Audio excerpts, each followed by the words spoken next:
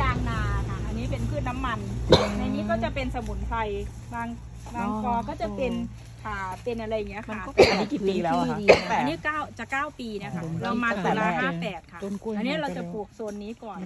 เนี่ยค่ะ ก็จะเป็นกลุ่มเป็นกลุ่มแล้วแต่ว่ากลุ่มไหนเหลืออะไร เราเหลือแต่จากที่ ที่ให้เดินตั้งเยอะเลย ปลูกทั้งหมดทั้งมวลถ้าเป็นไม้ผลให้เขาที่เป็นเบียดพกัวนกเองเงาะลิ้นจี่ทุเรียนพวกนี้จะโตช้ากว่ากว่าไม้อื่นอืมๆค่ะอืมถ้าที่เราที่เราดูดูมานะคะ แต่ไม้อย่างอื่นนะคะโตแย่งกันโตค่ะ แล้วก่อนปลูกในหลุมนี้เราทำอะไรก่อนที่เอาต้นไม้ใหญ่มาลงอะคะไอ้ยต้นไม้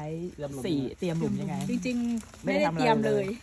ลงก็เลยปลูกแล้วก็รดน้ำส่วนที่เขาปลูกผัก ดินมันก็เป็นปกติเดิมของมันใช่ใช่ไหม ค่ะ เป็นดินลูไม่กได้ทำอะไรเลที่ยนี่เป็นดินลูกรังนะคะ เป็นดินลูกรังถ้าขุดแต่ว่าพอมาอยู่สักสามสองสามปี หน้าดินมันเริ่มมีอะค่ะ หน้าดินมันเริ่มคือว่าใบมันร่วงเนี่ยเราก็จะคุมตลอดนะคะ แล้วก็แต่ก่อนแถวนี้มันจะเป็นหญ้าคาสูงท่วมหัวเลยนะคะอืมเราก็ตัดหญ้าคาก็คุมคุมคุสมไว้ ค่ะ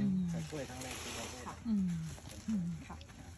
แต่ว่ากล้วยตอนนี้จะหายไปแล้วค่ะมันคงอยู่ไม่ถึงเก้าปีนะทฤษฎีบุญขี้ค้านของที่ที่เราใช้ทำชาเหลือแต่ไม้ผลใหญ่ตอนนี้เก้าปีแล้วที่กรรมการที่ได้ดื่มชาก็คือจากต้นโอ้ที่เดือ